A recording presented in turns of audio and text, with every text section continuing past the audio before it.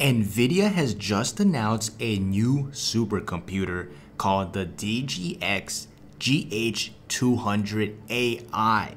Now, this thing is absolutely insane. Has a whopping 1 exaflop with 144 terabytes GPUs that is powered for giant models powering generative AI. Now, if you're not familiar, ChatGPT, one of the most famous recent AI companies in the current world, utilizes NVIDIA GPUs. To my knowledge, they were basing off the A100s.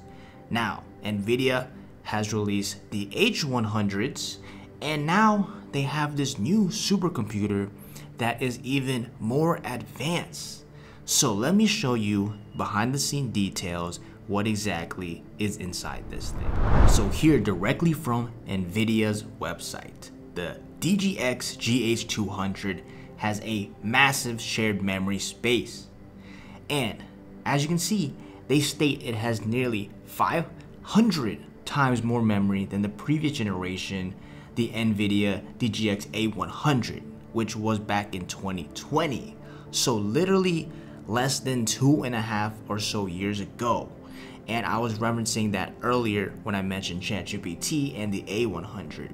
And you can see now 500 times more memory. Now, for people who might not be as technical or have no idea what exactly all these words and numbers mean, let's go ahead and actually take a look at their data sheet where you can see a comparison and bar charts see exactly the levels it's above. Now here I am on the datasheet for the NVIDIA Grace Hopper Super Chip.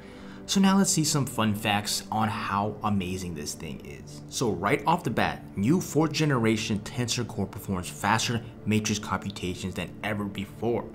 And as you can see, the H100 it is ability to deliver 9 times faster AI training and up to 30 times faster AI inference compared to the prior GPU generations. So this is a significant jump. And also they have the MIG, which stands for Secure Multi-Instance GPU, partitions the GPU into isolated right-sized instances to maximize quality of service for smaller workloads. Now, all those numbers and words might sound confusing, but let's look at some bar graphs. So here we can see on the left, we have the A100 with the X86, and then now we can see the H100 comparison, and then we can see the Grace Hopper. So if you don't know anything about the technical aspects behind this, we can clearly see the Grace Hopper is the highest bar right there.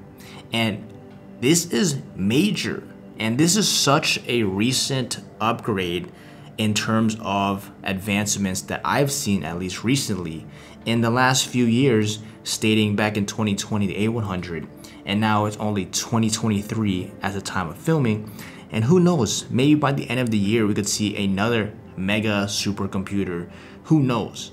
As of right now at least from the data I've seen and what I've researched it seems that as long as Nvidia continues to upgrade it's going to make it easier for people to build companies regarding AI and who knows someone could use these new upgraded supercomputers to create their own ChatGPT or a completely new AI company that we've never seen before. So here is a nice visual of the super chip and we can see here 900 gigabytes per second on the coherent interface which is 7 times faster than their PCIe Gen 5 and they also have 30 times higher aggregate system memory bandwidth to GPU compared to the A100.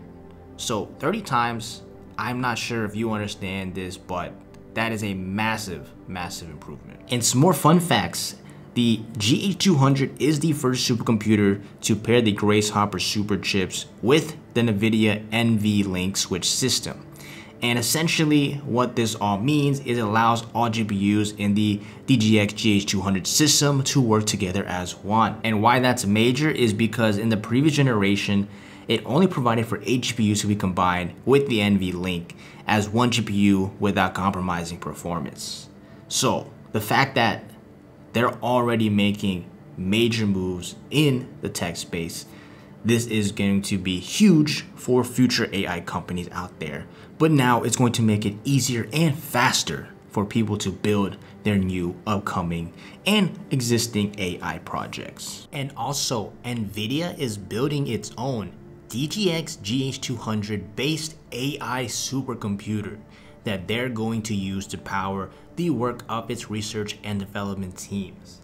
Now, what they call this is Helios, and the supercomputer, it will feature four DGX GH200 systems and these are all going to be interconnected with their NVIDIA Quantum 2 InfiniBand that is networking to supercharge data through output for training large AI models. And the crazy thing is, it will include 1025 Grace Hopper Super Chips, and they expect this to be up by the end of the year. So, again, NVIDIA is making crazy improvements to their technology, and it seems as of right now in terms of the progression that is just only getting faster and better. And it's literally weeks on weeks of improvements and next thing you know it in a couple weeks from now or even a few months we might see another computer chip. Whether it's nvidia or it's a competing company we don't know. Now according to them based off availability this is expected to be at the end of the year. So as of right now, at least for most of us, we probably won't see too much of this being used out. But maybe obviously the major tech giants out there, the big boy companies are probably already testing, if not will be testing stuff like this soon to improve their current infrastructure. And it's crazy to think that this is already being created today.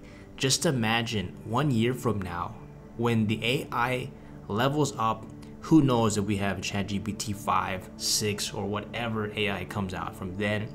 And then and combine that with NVIDIA's whatever new supercomputer, super chip that they make by next year is going to get even crazier. And this again is just the beginning. Now, all this stuff sounds amazing, but for the average person, most of these are outside of their budget. And typically, unless you are filthy rich, you might not be able to afford this. And as of right now, they showcase the top dogs in the space, such as the Google, Meta, and Microsoft are among the first people, or at least to say first companies, to gain access to the DGX GH200 and obviously they already are big in the AI tech space and adding this new supercomputer to their companies is just going to supercharge it even more.